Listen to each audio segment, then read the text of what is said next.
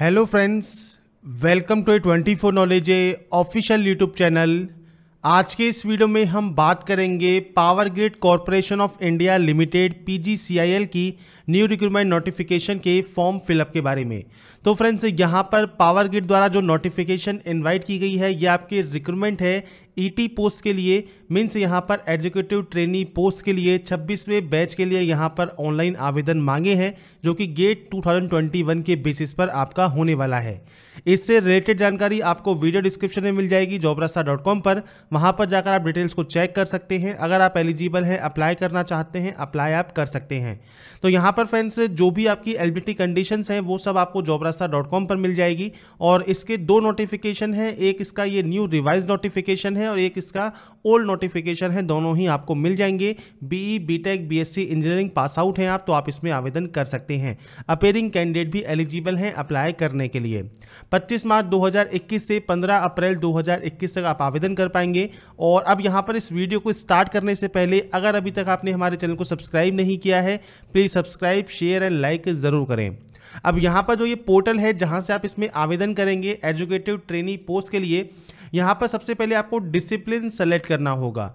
Discipline select करने के बाद आपके सामने सबसे पहले आएगा गेट 2021 का रजिस्ट्रेशन नंबर और आपका एनरोलमेंट या एप्लीकेशन आईडी ये सब आपकी डिटेल्स आपके एप्लीकेशन फॉर्म या फिर आपके एडमिट कार्ड को आप चेक करेंगे, उस पर आपको मिल जाएगा।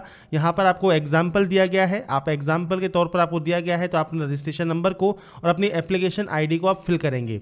ये बिल्कुल सही होंगी, तभी फ्रेंड्स आप इस फॉर्म को सबमिट कर पाएँगे। इसके बाद ईयर ऑफ़ अपियरेंस में ओनली 2021 का ही ऑप्शन आपको यहाँ पर मिलता है। इसके बाद है, देखिए नेम ऑफ़ द कैंडिडेट यहाँ पर है मदर नेम और यहाँ पर है फादर या हस्बैंड नेम अब यहाँ पर फ्रेंड्स आपको आपकी जो बेसिक जानकारी है, वो आपको यहाँ पर फिल करनी होगी. ये फिल करने के बाद फ्रेंड्स यहाँ पर आपने जो भी नाम दिया है, इनसे रिलेशन आपको बताना होगा फादर या हस्बैंड का, वो आप सेलेक्ट कर लेंगे. यहाँ पर है आपका डीओबी सेक्शन तो आपकी जो भी डेट ऑफ़ बर्थ है, वो आप इस कैलेंडर के माध्यम से सेलेक्ट कर सकते हैं. इसके बाद आपका जेंडर आपको सेलेक्ट करना है। अगर आप एक्स सर्विसमैन हैं तो यस कर सकते हैं। आपका सर्विस डेट कब से कब तक है, वो आप बताएँगे। नहीं तो आप इसमें नो करेंगे। नीचे आपकी कैटेगरी है तो जनरल ओबीसी एससी एसटी जो भी आपकी कैटेगरी है, वो आप चूज़ कर सकते हैं। माइनॉरिटी कम्युनिटी जो आपको यहाँ पर दी गई है, इनमें से किसी भी आप कैटेगरी में आते हैं सेलेक्ट कीजिए। नहीं तो आप नॉट एप्लीकेबल करेंगे। डोमेंशियल का स्टेट कौन सा है आपका? तो वो स्टेट आप यहाँ पर मेंशन कर सकते हैं। इसके बाद नेशनलिटी आपको सेलेक्ट करनी होगी। अगर आप यहाँ पर विक्टिम हैं दंगों के तो आप यस या नो कर सकते हैं। जम्मू एंड कश्मीर के निवासी हैं आप इस टाइम के दौरान तो आप यस या नो कर सकते हैं। मैरिटल स्टेटस आपका क्या है, वो आप यहाँ पर सेलेक्ट कर लेंगे। तो बेसिक जानकारी है जो कि आप यहाँ पर फिल करेंगे। पीएच कैंडिडेट अगर आप यहाँ पर हैं तो यस कर सकते हैं। परसेंटेज ऑफ़ डिसेबिलिटी आपकी कैटेगरी और सब कैटेगरी सेलेक्ट कीजिए। नहीं है तो आप यहाँ पर नो कर सकते हैं। इसके बाद अगर आप इंटरनल कैंडिडेट हैं तो आपको यहाँ पर यस करना होगा और अपना एम्प्लॉय नंबर और आपका जो रीज़न है वो आपको सेलेक्ट करना है। नहीं है तो आप इसमें भी नो कर सकते हैं।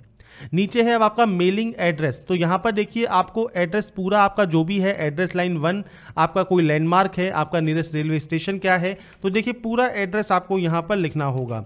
ये लिखने के बाद फ्रेंड्स यहाँ पर आपको आपकी जो सिटी है, वो मैंशन करनी है, आपका डिस्ट्रिक्ट आपको मैंशन करना है, आप किस स्टेट के निवासी हैं तो अपना जो स्टेट है, वो आप इस लिस्ट से सेलेक्ट कर सकते हैं, आपका पिन कोड नंबर आप यहाँ फिल करेंगे। ये फिल करने के बाद नीचे है कॉन्टैक्ट डिटेल्स का ऑप्शन अब यहाँ पर देखिए टेन डिजिट का आपका मोबाइल नंबर आपको फिल करना है। अगर आपके पास लैंडलाइन नंबर है तो आप एसटीडी कोड के साथ उसको फिल कर सकते हैं। आपकी active and valid mail ID आप दो बार फिल करेंगे और आपकी कोई भी अगर आपके पास एक्स्ट्रा अल्टरनेटिव ईमेल आईडी है, वो आप जानकारी दे सकते हैं। तो ये सेक्शन आपके कॉन्टैक्ट डिटेल्स का रहेगा। नीचे है क्वालिफिकेशन सेक्शन सबसे पहले क्वालिफिकेशन में बीई बीटेक है बीएससी इंजीनियरिंग क्या आपने पास आउट किया हुआ है? परसेंटेज ऑफ़ मार्क्स आपके क्या हैं? तो यहाँ पर आपको दो डेसिमल तक लिखना होगा तो आपके अकॉर्डिंग जो भी आपकी परसेंटेज है, वो आप फिल कर सकते हैं। डिसिप्लिन सेलेक्ट करेंगे। डिवीज़न यहाँ से आप सेलेक्ट कर सकते हैं। इसके बाद सी है तो आप सीजीपीए भी लिख सकते हैं। नीचे है आपका ड्यूरेशन ऑफ़ कोर्स तो आपने कब से कब तक ये कोर्स कंप्लीट किया है? तो आपके पास देखिए, अगर स्टार्टिंग की डेट नहीं है, पर आपके पास यहाँ पर इसकी जो लास्ट डेट है, वो अगर आपके पास अवेलेबल है तो आपको करना ये है कि आपको जो ड्यूरेशन होती है, जैसे चार साल तो आपको उससे पहले की जो ड्यूरेशन है, वो आपको लिख देनी होगी कम से कम। अगर आपके पास एडमिशन स्लिप इस समय है तो अच्छी बात है, आप उसके अकॉर्डिंग जो भी आपका एडमिशन स्लिप है, उसमें जब भी आपने एडमिशन लिया है, उसके अकॉर्डिंग आप डेट फिल कर देंगे। यहाँ पर है डेट ऑफ़ जो आपका रिज़ल्ट डिक्लेरेशन है, वो कब हुआ है तो आपको यहाँ पर डेट ऑफ़ डिक्लेरेशन देना होगा। आपके रिज़ल्ट का, वो आप यहाँ पर सेलेक्ट कर सकते हैं। मोड ऑफ़ कोर्स आपका क्या है? यूनिवर्सिटी कौन सी है? तो देखिए, आपको नेम ऑफ़ द यूनिवर्सिटी तो लिखना है, पर पूरा नाम आपको यहाँ पर लिखना होगा। मैं अभी वैसे ही सैंपल के तौर फिल कर रहा हूँ। आपका जो भी पूरा नाम है इंस्टीट्यूट का और आपकी यूनिवर्सिटी का, वो आप यहाँ पर फिल करेंगे। पूरा नाम आपको यहाँ पर फिल करना होगा। नीचे है ऐड एडिशनल क्वालिफिकेशन अगर कोई भी आप यहाँ पर क्वालिफिकेशन ऐड करना चाहें तो आप यहाँ पर ऐड कर सकते हैं क्वालिफिकेशन को। इसके बाद यहाँ पर है योर बैंक अकाउंट डिटेल्स तो यहाँ पर आपकी जो अकाउंट डिटेल्स है बैंक खाता जो होगा, वो उसकी जानकारी आप देंगे। सबसे पहले बैंक का नाम आपको देना है। जैसे स्टेट बैंक ऑफ़ इंडिया है या पंजाब नेशनल बैंक है, आप फुल फॉर्म लिखना चाहें शॉर्ट लिखना चाहें, वो आप यहाँ पर लिख सकते हैं। आपकी ब्रांच का नाम क्या है? तो आपकी जो भी नाम ऑफ़ ब्रांच है नेम ऑफ़ द ब्रांच है, वो आपकी बैंक की पासबुक पर मिल जाता है या फिर आप गूगल पर भी सर्च कर सकते हैं। ब्रांच की सिटी कौन सी है? वो आपको यहाँ पर मैंशन करनी होगी। मतलब किस सिटी में आपकी ब्रांच है? आपका अकाउंट नंबर क्या है? बैंक का जो आपका अकाउंट होता है, उसमें फ्रेंड्स एक बैंक का आईएफसी कोड होता है। उस आईएफसी कोड को आपको देना होगा। आईएफसी कोड आपको फ्रेंड्स आपकी पासबुक पर ही मिल जाएगा। एमआईसीआर कोड अगर अवेलेबल है तो आप यहाँ पर उसको भी दे सकते हैं। ये सब जानकारी आपको आपकी पासबुक पर मिल जाती है। अगर फिर भी आपको यहाँ पर बैंक का नाम पता है, आपका अकाउंट नंबर आपको पता होना चाहिए। Name of the branch friends आपका जो ब्रांच है ब्रांच सिटी कहाँ है, बाकी आई कोड एम कोड आप गूगल पर सर्च कर सकते हैं। अगर आप एम्प्लॉयड हैं तो आप यस कीजिए। नहीं है तो आप इसमें नो कर सकते हैं। नीचे है फ्रेंड्स यहाँ पर आपका कोई रिलेटिव अगर वर्क करता है तो आप यस कर सकते हैं और उसके बाद एम्प्लॉय है एज ए डायरेक्टर है, वो आप बताएँगे और उनकी जो डिटेल्स हैं, वो आप यहाँ पर प्रोवाइड कर सकते हैं। नहीं है सिंपली आप नो करेंगे। यहाँ पर है अपलोड सेक्शन तो देखिए, सबसे पहले फोटोग्राफ आपको अपलोड करना है जेपीजी फॉर्मेट में साइज़ पचास के से कम होना चाहिए। सिग्नेचर का साइज़ 30 के से कम होना चाहिए। अब यहाँ पर है डेट ऑफ़ बर्थ सर्टिफिकेट मतलब आप एसएससी का जो सर्टिफिकेट है टेन सर्टिफिकेट है, वो आप अपलोड कर सकते हैं।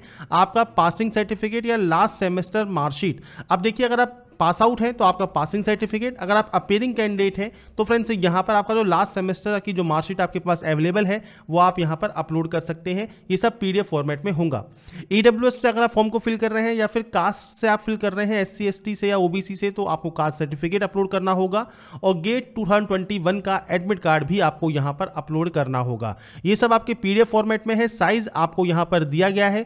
इसी साइज़ में आपको अपलोड करना होगा, सिर्फ़ फोटोग्राफ एंड सिग्नेचर ही आपके जेपीजी फॉर्मेट फॉर्मेट में आएँगे।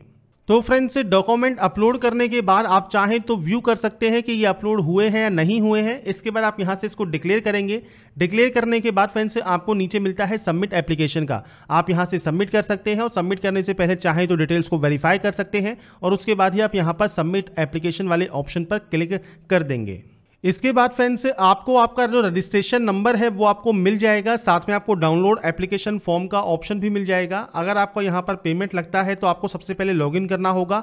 आपकी रजिस्टर मेल आईडी और रजिस्ट्रेशन नंबर के थ्रू जो कि आपको अभी थोड़ी देर पहले मिला होगा, आप उसे नोट डाउन कर सकते हैं। और इसके बाद इस कैप्चा कोड को फिल करके आप लॉगिन कर लेंगे।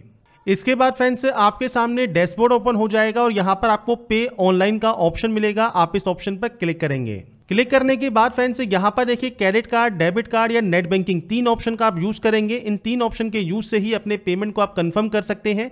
तो अपने कार्ड डिटेल्स को फिल कीजिए और उसके बाद मेक पेमेंट पर क्लिक कीजिए और जैसे ही आपका पेमेंट वेरीफाई होगा, आप अपना फाइनल प्रिंट आउट निकाल पाएँगे।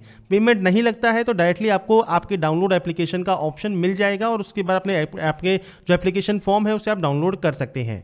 तो यहाँ पर फ्रेंड्स, जो ये प्रोसेस है, उसके बारे में आपको जानकारी प्रोवाइड कर दी है, जो कि रिक्रूटमेंट है आपके ईटी पोस्ट के लिए, जो कि गेट टू के थ्रू होने वाला है। और इसके लिए फ्रेंड्स, लिंक आपको अप्लाई का, लॉगिन का, सब आपको यहाँ पर मिल जाएगा इसकी ऑफिशियल वेबसाइट पर। और साथ में जॉबरास्ता पर भी लिंक मैंने आपको प्रोवाइड किया हुआ है। अगर आप एलिजिबल हैं अप्लाई करना चाहते हैं अप्लाई कर सकते हैं, और अगर आपको हमारा ये वीडियो पसंद आया है तो लाइक सब्सक्राइब इनसे ज़रूर कीजिए। और बाकी की जानकारी के लिए ऐसे ही बने रहिए हमारे साथ। देखते रहिए हमारा YouTube channel and last thanks for watching